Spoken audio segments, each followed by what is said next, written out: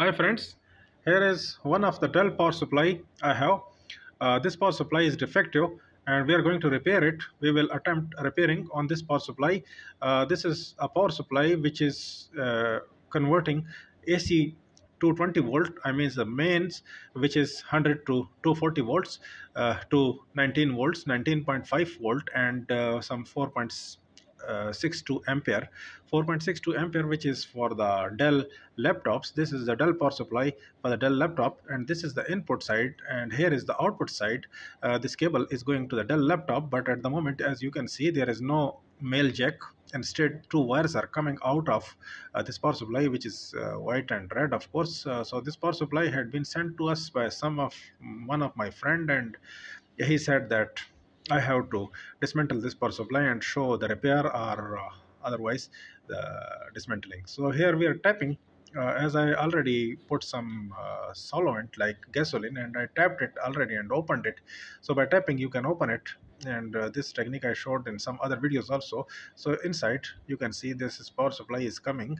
Uh, this is a standard power supply and here is some part which uh, has been fallen from this power supply you can see this part and uh, this part is showing some 38 number is written KA38 or UC38 uh, which is you know UC38 42 UC38 43 they are the standard ICs uh, used for these power supplies these uh, Chinese power supplies they are using uh, almost all power supplies they are using I mean to say most commonly used IC uh, which is this one and it had been broken uh, from the inside just I'm showing you uh, from where it had been broken. So this is the place the IC uh, from where the top had been broken and it is exploded. Uh, and the whole thing had been exploded. I mean too many resistances and components. The rest of the components had been broken also. Uh, here is the FET the cause for the breakage is this FET while uh, this is switching, I mean this transformer is switched by this FET, the field MOSFET. Uh, so this MOSFET is going defective. As you can see, the MOSFET part has been come also in chunks. Uh, this MOSFET has been broken also. It is normally emitting fire. So some people are saying fire emitting transistor FET or field effect transistor actually it is. Uh, so parts are blown inside and these parts are normally going short circuited. Uh, so uh, while we are re repairing, attempting a repair on such power supply, it's a must that one should check each and everything, each and every semiconductor and capacitors and resistances, each and everything should be checked and replaced. Uh, here is an add-on module which we will add. These are the two modules you can see and uh, this is STR type module. The STR is there, 6 pins STR which is an IC and power MOSFET is included in that IC. Uh, these are the five wires which are coming out of uh, this module you can see different colors. Wires had been implemented to these modules. These are two. So we are breaking in the middle. So we are making it two. So one of the module we will use in our project uh, this module will go in our power supply. The very easy and whatever the cheap way and an effective way to repair such power supplies such small power supplies today is to add this module. This add this add additional module will add up and it will take the place of IC the switching IC as well as the MOSFET and the connections interconnections we will make to the power supply. And this module is made in the way that it is a flexible and it will be fixed almost everywhere. I mean all power supplies they can accept almost all power supplies not all but many of the power supplies which are using the same concept uh, they can accept this uh, module. They have made different modules. One you can see in my hand and other are there uh, which could be fixed. Some have two transistors some have single transistor and this one is single transistor flyback type power supply. So that's why we are using this module. This is the smallest module available in the market. So this way we will be able to repair this uh, switching power supply such a switching power supply if it's defective with you uh, you people will be able to repair with the help of this add-on module. Uh, and also the output which which was fixed before i mean to say 19.5 volt or 20 volt it will come while we will, rep will, will repair uh, using this uh, module or if it is a multi-voltage power supply like in many circuits you can see multi-voltage power supplies so for those also it would work now i'm cleaning all the stage and then we'll show you so here you can see lot lot of uh, blown components I replay, re removed from the circuit board. This is the MOSFET. Here is uh, this IC chunks you know and here is the capacitor which replaced this is the bootstrap capacitor. This was also short circuited and we replaced uh, with a good good one. And uh, IC we removed and the other component MOSFET we removed. This one is uh, you know uh, the optocoupler. The optocoupler has also been broken. So downside you can see this has been broken. Uh, chunk had been removed from and inside it is it was short circuited. Something happened with this and this come came out of the power supply in two pieces. Uh, so in such way it came and uh, we re replaced it. I replaced it and I fixed a new uh, MOSFET from another board, a good MOSFET from another board. I fixed it over here. And you can see over here this MOSFET, uh, this uh, optocoupler is, if I said MOSFET, so sorry, this optocoupler, uh, op opto isolator. So this is the IC which is TL431, which is a reference programmable Zener 3 pin IC like a transistor it is located over here. Uh, this is giving reference to the opto isolator and uh, this one also uh, maybe it would be blown so I replaced it because while the uh, MOSFET or uh, sorry not MOSFET but uh, other thing went so it also blown this. This is the output stage uh, bridge the true true diode rectifier not bridge but two diode rectifier over here like a transistor 3 legs transistor, three legs diode. This is also I fixed another one which is metal tab type I had available. The original one was plastic. This was short circuited and I replaced with this one but I insulated uh, with the help of insulator and insulating uh, washer. Uh, so here you know some other components like resistances and diode uh, they had also been blown but the diode we just removed the one leg and the resistances are there. These components we brought out of the power supply. So if same situation happened with some new guy and uh, he or she will experience many components like here as in this situation you can see they are blown. So this situation is very difficult to handle for uh, new new guys uh, new people they are expecting that maybe a fuse will be blown or uh, mm, in many cases a transistor and IC will be blown and we will replace that and the power supply will come to life. And that is normally the case is but not all the times. As in this case you, you saw many many components had been blown and uh, in such power supply if you are making a repair attempt it will be a challenge for new buys.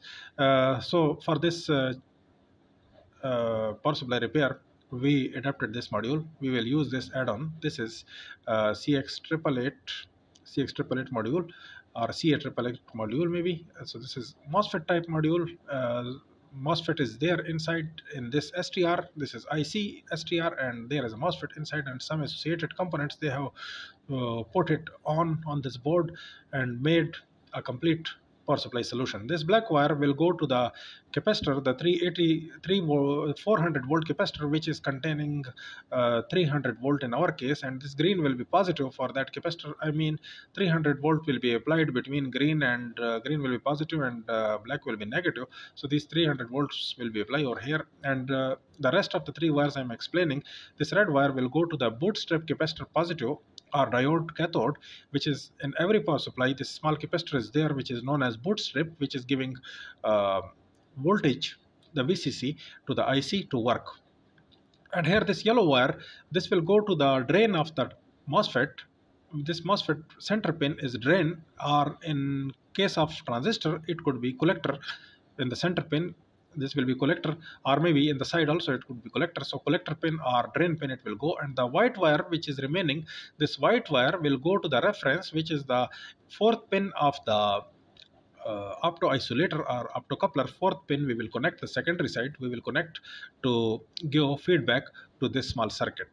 Uh, so here on the IC pins as this this uh, fourth pin is coming to the IC so on the IC pin we will connect we will make all the interconnections uh, on the IC pins because holes are available over there already. So we will not make any new hole but instead we will reuse the older holes which are there on the PCB uh, so that will be an easy repair. Uh, here we are going to put this black wire to the negative side of the capacitor. This central negative uh, primary side hot side negative is here. So we will put on here this black wire we will introduce and uh, we will solder it. Uh, so this way you can check from the capacitor also and also you can see uh, where the negative is. This is easy. This is not very difficult for any person who is dealing with electronics. Uh, it's easy work. It's not that difficult. So here we are soldering it uh, using our soldering iron and uh, with the help of uh, soldering wire uh, we are soldering this black wire to the negative trace. We soldered it and now is the time for another wire which is you know this green wire also we will solder on the capacitor positive but later on we will solder and at the moment we are soldering yellow wire to the drain of the MOSFET. So here is the drain the central pin uh, which is coming from the transformer. Of course the switching transformer we will solder it over here uh, I'm soldering it and then we'll show you the rest of the process. So as you can see we soldered it and uh, then is the time for another wire uh, which is you know uh, this white wire which which will go to the IC pin uh, the reference pin I mean the feedback pin. It will go. So here we are checking this fourth pin. Uh, I will show you. Here this fourth pin is going to the IC pin. This point IC pin this this is coming from the uh, fourth pin of the opto isolator. So here we will solder you can solder anywhere or even on the top of the PCB but that's not the proper technique. So the proper technique is to solder it on the IC pins because hole is already available. I'm repeating this point once again uh, for the new guys. Uh, so this way we will twist it and then we will solder it perfectly. So after soldering we are remaining with this red wire. This red wire is for the bootstrap capacitor as i explained before also i'm explaining again and again because for the new people this is a little bit difficult concept how wiring will go. But it is not difficult. Once you will do it it will be very very much easy. But the main thing is you should have to remove all the broken components uh, which are there on the PCB which are blown or which are short circuited uh, after soldering this red wire the final wire is green. So this green wire we are going to connect on the capacitor positive. On the capacitor side we are connecting it and uh, this whole module has been connected. Uh, now we will confirm our work. Uh, as if we made any mistake we, we can correct it now before uh, powering this up and we should clean uh, these legs for the MOSFET because here in, uh, the residue should not be there. And now is the time to test this thing. So with a meter uh, on the voltage range DC voltage range red we will connect to the red probe and the white wire of the power supply we will connect to the black probe negative. Uh, so here it will give us reading is if uh, 19.5 volt or 20 volt will come so this power supply will be repaired with this new add-on module and still we did not put it on the heatsink later on we will. Uh, here is a series lamp. First we will connect this power supply in series lamp and then later on we will connect it naturally. Uh, here is uh, of course one LED also that will come. If the power supply uh, will be perfect I mean it will give perfect voltages then uh, the LED should also come. Here a blue LED you will be able to see uh, that will glow and that will show uh, this LED will show the status of the power supply. So now I'm going to connect it in the 220 volts. Let us see how it is behaving. So I connected and the blue LED, you can see the blue LED had been come, which is showing that the power supply is switched on and 20 volts, 20.04 volt. You can see 20 volts over here. And this way we repaired this power supply with this new add-on module.